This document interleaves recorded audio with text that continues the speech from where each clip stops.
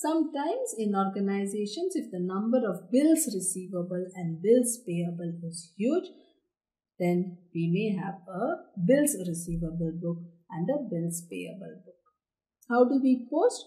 A bills receivable book, you can take a periodic total of the bills receivable and take it to the debit side of the bills receivable. So what will happen? Bills receivable account will be debited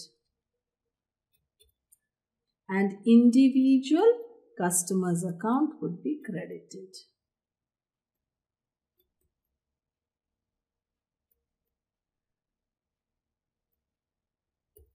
What would we do in case of a bills payable?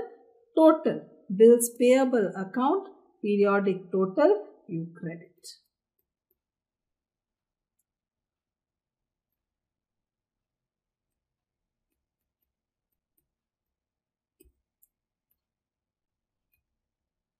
Right? Bills payable is credited and individual person's account, normally supplier's account.